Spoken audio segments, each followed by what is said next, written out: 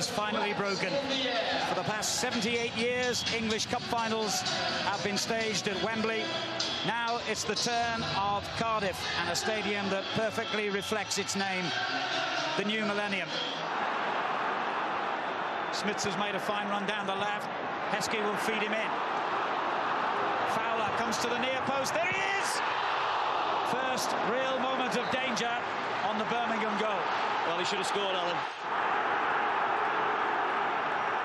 Birmingham, the 15th club in the history of this competition from outside the top division who've reached the final, and only five of them have ever gone on to win the competition as Fowler produces an absolutely magnificent goal to give the Premiership club the lead.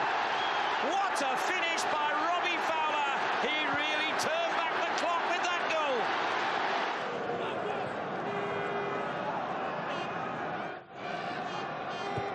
A long ball from Onshow.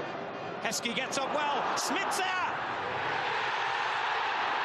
Well, a lot of the Liverpool fans at the other end of the stadium thought that had gone in.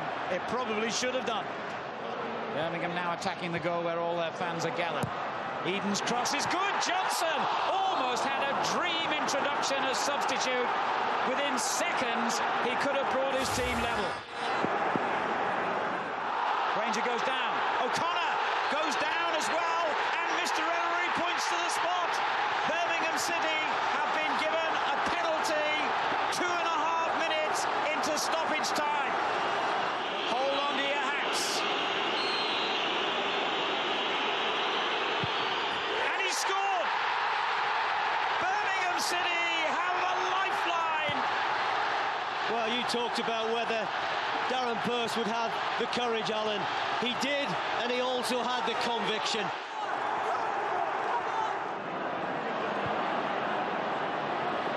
Now, Hughes. Good effort. My word, what a moment that was.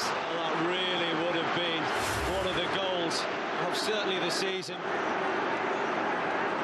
Purse gets there ahead of Heskey. And there's a chance here for Johnson. It's another penalty, is it? Well, I must say my first reaction was that that was just as convincing a spot kick as the one that Mr. Elleray gave right at the end. Johnson's only partly cleared it. Fowler with a header! Wonderful save by Bennett. What about the ball from Christian Ziege, though? Really was magnificent to Robbie Fowler. That's it. We still don't know who has won the Worthington Cup.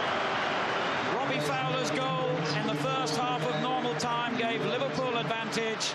Darren in stoppage time after 90 minutes, equalising from the penalty spot. And now it's all about penalties. You can only try to imagine what kind of nerves are going through the emotions of the players and fans at this moment. Grainger to make it 1-1. Saved by Westerveld. Liverpool nudge ahead. The German international Christian Ziege to make it 3-1 for Liverpool. Which he does. The most critical penalty of the day. Bryan Hughes has to score or Liverpool win the Worthington Cup. Score he has. Andrew Johnson has to score.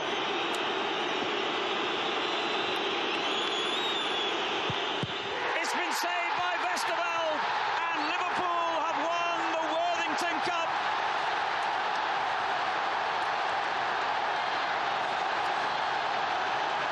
The emotions pour out from the stands and down on the field.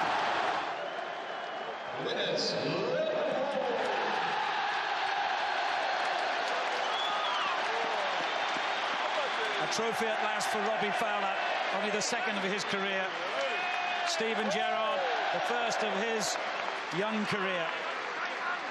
Westerveld and Houllier, and it'll be passed down the line like a newborn baby. But I suspect they won't be treated with that kind of care later.